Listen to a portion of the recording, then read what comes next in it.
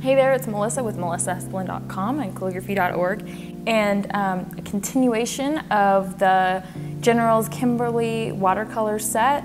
Like I mentioned in the review earlier, you can see in the description below if you're looking for that review, um, that you're going to get a very different result. You're not going to get the same same kind of image that you're going to get with tube paints. And that's the beauty of watercolor pencils in general. So let's show you a little bit how to make a gestural watercolor floral piece. So I'm going to do some ranunculus, which are really easy to do. Ranunculus are very rounded with very simple strokes. So we're, we're gonna start with these colors. I'm gonna go for red and I'm gonna draw kind of an oval. And I'm putting a fair amount of pigment down. I do sort of a bottom C type shape and this is what sort of cups the flower together and doing some line work. And we'll do some more line work at the end to add those details. Drawing a little circle of yellow some little details here and there, adding some orange in here to lighten that up. So we're doing a bud. We're making it a little more rounded. And then you add these little bits in here. A little bit of yellow for the center. Do another one, facing down.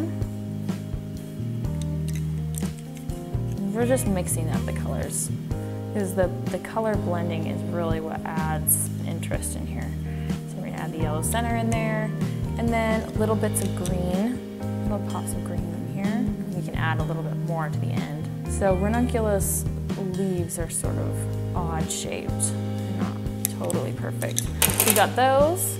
We're gonna add maybe some darker greens inside the leaves.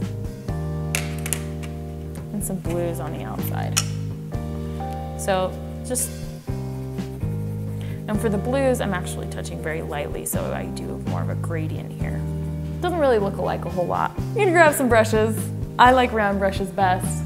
Get a big one, get a small one. Ready to work, we're gonna start bigger and then work our way smaller. Add little bits, activate those colors.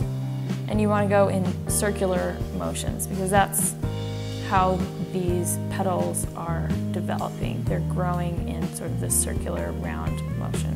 You can activate from here and then do some regular lines, some painted lines, so you don't have to do everything within the lines that you've created. So it's very gestural. Now clean off your brush, activate the centers, and I like to pull a little bit into the pink just so that you have this blending going on here. You want to color outside the lines, let's be honest. It's way more fun. So now we're going to activate the pigment on the leaves. And I'm just pulling this. The green really pulls nicely.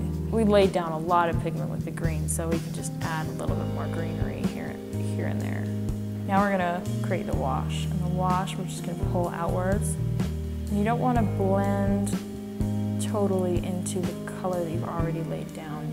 You wanna make this nice little separation between what you've done, your flower, and your background. If you do touch your leaf, that's not a big deal but you want to try to avoid it for the most part or you're just going to have a muddy mess. And see, I'm activating these and I also have more pigment on my brush. Load that and create some drops. You can barely see them on the screen, but adding those little droplets kind of help finish off your border. And it'll dry darker. So there you go, you've got like this nice, delicate little composition in very little time.